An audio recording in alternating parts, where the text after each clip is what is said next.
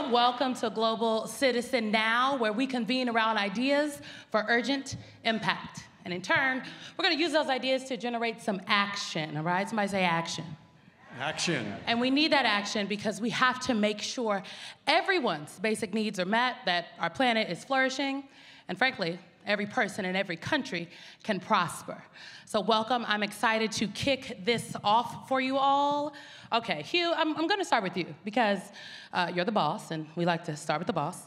And this is the third year right now of the Global Citizen Now Summit. What do you hope the outcome is of the next two days?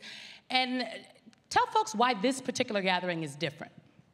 Well, firstly, thank you so much, Symone, for being part of Global Citizen Now, and thank you to all of you for being here and part of the movement.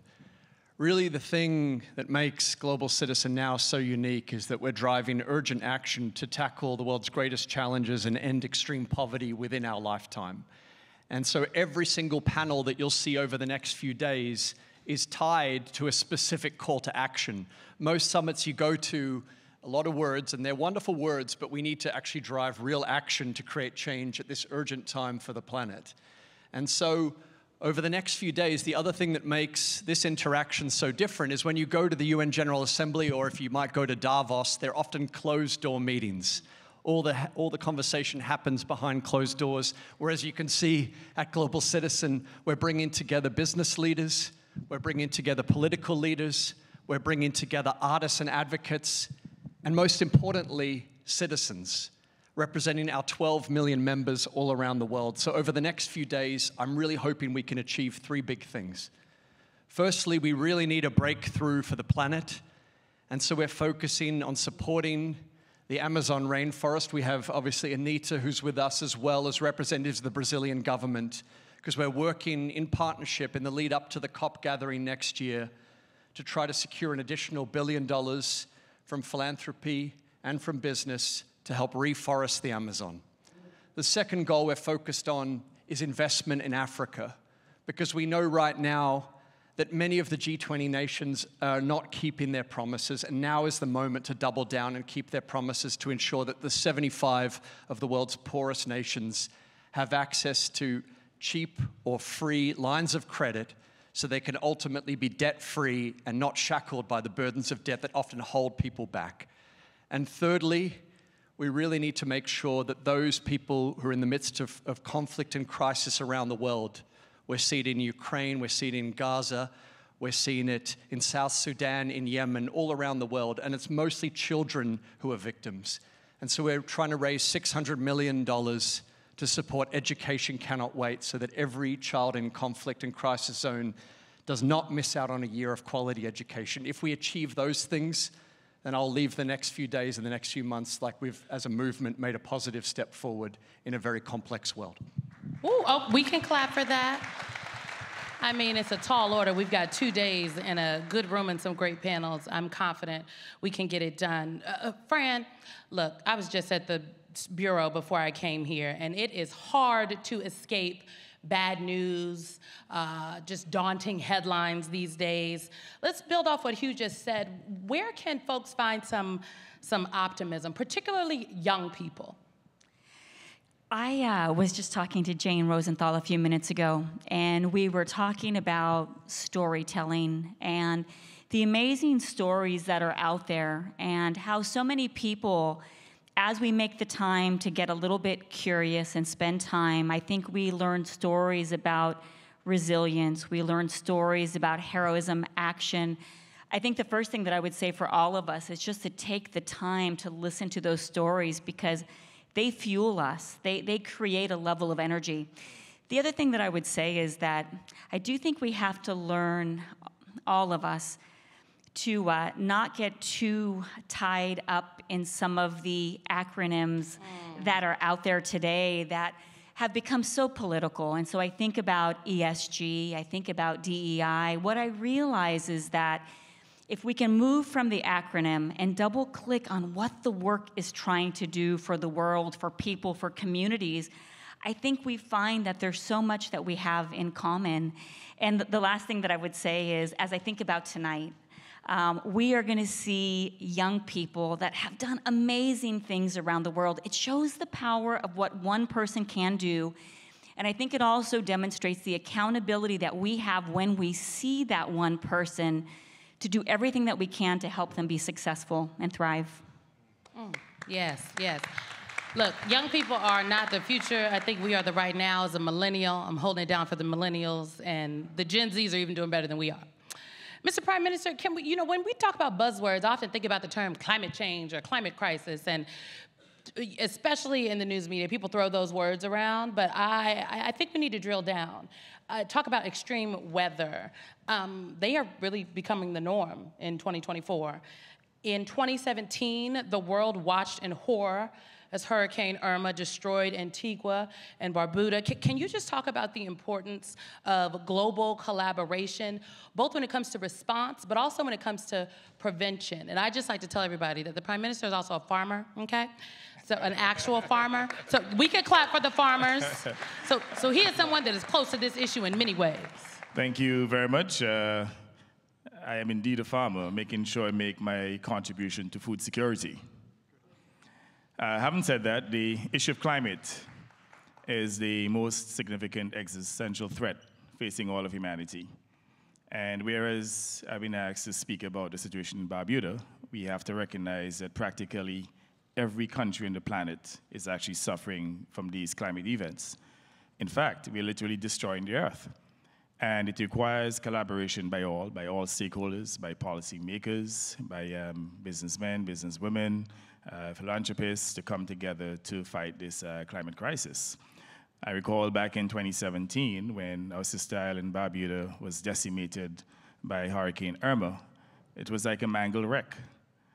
In fact, at that time, we wondered um, precisely uh, what would we do. I mean, whether or not um, the island would be habitable in the future. It was actually deemed to be inhabitable at the time to the extent that we had to vacate all of the residents of Barbuda to a sister island, Antigua. And that was certainly one of the most um, powerful storms that we would have seen. In fact, since then, we have seen many more storms. They're more ferocious. Uh, they are certainly uh, more impacting, they're more frequent. And as a consequence, uh, small island states globally are suffering. In fact, their civilization is now imperiled. But again, as I said, it's not limited to small island states. Uh, most countries have, co have coastal communities, and uh, those coastal communities are also under threat. So this requires a collective action of all of humanity to address this most significant existential threat that is facing all of humanity. We only have a single planet. We don't have a planet B. And therefore, all of us, each of us, must be committed to addressing this issue by ensuring that we reduce emissions, by holding the large polluters accountable. They must understand that they cannot continue to put profits over the planet. We have to protect our planet in the interest of all civilization, in uh, ensuring that we preserve our common humanity. And therefore, I want to certainly commend uh, Global Citizen Now for bringing us together as stakeholders as we address this most significant threat facing all of humanity and our planet. Thank you, Mr. Prime Minister. Uh, you know, I don't think it's a surprise to anyone that the effects of extreme climate events, like the Prime Minister just referenced, they, they disproportionately affect women and girls. And Fran, to that point, lifting up women and girls is something that Cisco has been committed to for well over 25 years, um, especially through bridging the educational divide. Can you just talk a little bit about the Cisco Network Academy and the impact that that is having across the world? Yeah, I'm really happy to. I, I, think we all realize that digital skills are so critical. Skills, education are so critical for all of us. I think the thing that's changed from a private sector perspective is there's this realization that talent comes to you with so many different paths. I think that's new. Um, at Cisco, we have trained 20 million students over the last 25 years. And when I think about. I'm sorry, hold on. People just bro- breeze past the number. What was the number? It was 20 million. 20 million. We offer this training for free. Um, it's something that we want to make available. I think right now we're hearing so much around the world around AI and cybersecurity. What I need to let you know is that unfortunately, women and underrepresented minorities are not represented in this new and incredibly exciting path. And we have to work so hard to change this. If I look at the continent of Africa right now from a cybersecurity perspective, only 9% of the workers in this space are women. We have to change that. The, the most amazing thing about this opportunity is that these technologies are, are just starting from an AI perspective, even from a security perspective. And so we have an opportunity right now to double down on education, which we're doing. From a Cisco perspective, we're committed to training another 20 million people over the next 10 years. We want to do a ton more in cybersecurity and AI and we want to make sure that we make it available for all. Let's stay on the continent. Um, we can clap. Do not be afraid to clap. I like an engaged audience. We're trying to start off strong here at Global Citizen now. I like it. They're awake, Hugh. That means they're with us. You know, let's stay on the continent because Danai, you took to the, the Global Citizen stage in Accra in 2022. And can you just talk a little bit about the challenges rooted in what folks refer to as a legacy of colonialism that countries like those in Africa and, frankly, in the Caribbean face? Uh, sure. Yeah. Well, I mean, at the end of the day, it's actually become more and more clear to me that uh, we are so far from uprooting ourselves from colonialism and the legacy that is still very much in place. I'm Zimbabwean, by the way, of America, born in Iowa, but grew up in Zimbabwe. Shout out to the Midwest. We Shout out to the Midwest. To the Nebraskans in the room. First gen, but African raised. Uh, and definitely grew up in Africa, grew up in, in Zimbabwe right after its independence, right into its various stages. And really the realization looking at things from the macro level is that we are still under systems of neocolonialism. Like it just shifted like from the slave trade to colonialization to colonization to neocolonization. And there's many things that are at play. There's uh, the fact that it has really often been said it's being said more and more blatantly lately that really the reliance of the western world and, and often the far east as well on is on our raw materials, our raw resources, and keeping them, keeping their stability as first world forces, so called, is in, it's intrinsic that we remain impoverished. So there's a very specific balance going on between how the so-called first world works with the third world. I mean, Jacques Chirac said in 2010, basically France would be a third world power if not for Africa. And there are ways that they still rely, Francophone nations are relied upon by France to maintain its first world status. So that is across the continent. If you look at even how who's in control of a lot of our, our natural resources, I mean, we're ridiculously wealthy from the, the, the coltan to the cobalt to the lithium to the diamonds to the rubber to the oil. I mean, we can go on all day, but often you don't see us in control of it. Now, we also have a leadership issue, okay? This is complex. It's not just one-sided. And the leadership issue is also very much, um, you know, a part of how people, places like, you know, the United States, for instance, has destabilizes nations to keep certain, certain leaders in power, to keep things destabilized in their favor. This has been going on for decades. So how do we get to the end of it?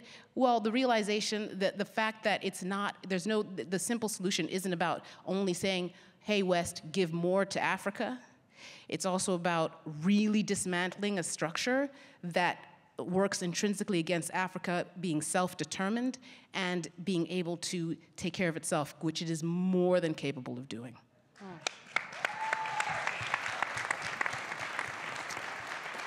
It's giving leadership matters.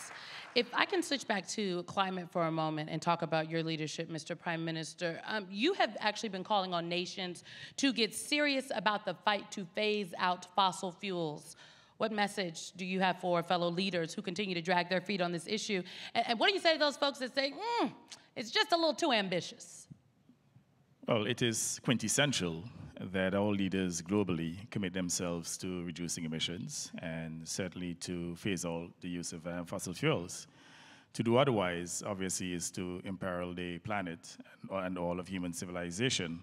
So my simple message is for the leaders to show greater commitment and to certainly um, adopt new technologies to increase the transition into renewables. At the same time, to ensure that we do not exceed the 1.5 degree threshold, because we all know that um, if that 1.5 degree threshold is actually exceeded, then evidently it could be catastrophic for a number of states, including small states. But I also believe, too, that um, leaders globally uh, need to uh, show some level of climate responsibility. I'm also of the view, too, that uh, voters need to hold their leaders responsible uh, because ultimately you're the ones who will determine their success.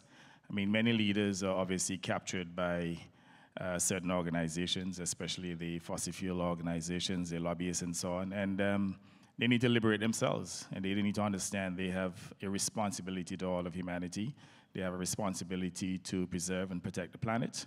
And um, ultimately, it will be the people, the voters, who will have to keep them responsible to make sure that they commit themselves to phase out the use of fossil fuels, not to be going to COP after COP after COP after COP every year after every year, making these pledges, and at the same time, without any real commitment to achieving the reduction in, emission, in emissions. So in essence, they've been gaming the system, and I'm of the view too that other than holding them responsible with the vote, uh, perhaps too that um, small island states in particular and developing countries globally, like-minded countries, uh, should consider legal options. In fact, Antigua and Barbuda and Tuvalu would have um, uh, put a, an advisory question or to get a legal advice as to whether or not um, these um, large polluters, if they are literally violating the um, UNCLOS um, treaty, and similarly, uh, Vanuatu would have gone to the ICJ to make that determination. I believe that these are the actions that are also needed to complement the voluntary pledges that have been made, many of which have not been satisfied. Uh, ultimately, as I said before, we only have a single planet. There's no planet B, and we have to hold the policymakers responsible, and we also have to help them to liberate themselves from the organizational capture to force them to be committed so that they can address this issue, this most significant existential threat facing all of humanity, and also to ensure that there is no further displacement of poor and vulnerable individuals, and so that all of us could achieve resilient prosperity. Danai, you also have a call to action. Um, you are launching an action campaign on the Global Citizen app, and that relates to the protection of women and girls in conflict zones like Darfur. Can you tell us how this audience here, not just in the room, but on the Zooms, as I like to say, can support? Yeah, well, I have to start by giving some context. Uh, when we say the, the actual call to action is around conflict related sexual violence.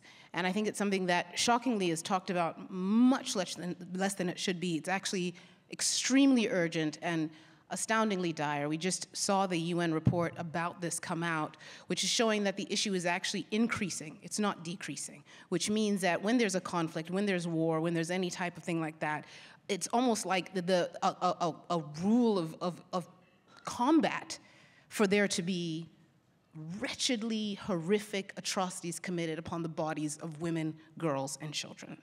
To the point where we're, we're talking about atrocities that are almost unthinkable, that are happening systemically across various countries across the globe. The focus that uh, I have as an African connects to Darfur, connects to Sudan, where about exactly almost a year ago, unfortunately, a new conflict began. We've heard from the UN, it's, it's, it's also connected to one of the worst, possibly worst human famine issues we've ever seen.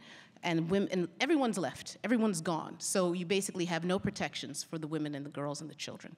Uh, so right now we have to remember that that sort of an issue, I could go into the stories, there's so many, and this call to action will reveal those stories to people because people have to understand these are girls and women who had hopes and aspirations and dreams that are being ripped away from them, families being broken apart. It's like you can't think about, oh, I'm gonna just go to the store today or walk across the street or wake up and feel safe in my home. We're talking about 12 year olds who um, Niemat Ahmadi, who's an amazing woman from Darfur, who runs the Darfur Women's Action Group, who you will learn about in this call to action. She tells a story of a 12-year-old girl who was gang raped, and her parents had to decide between feeding her younger sibling or taking her for treatment. And she just looked at her mother and said, I just don't want to live.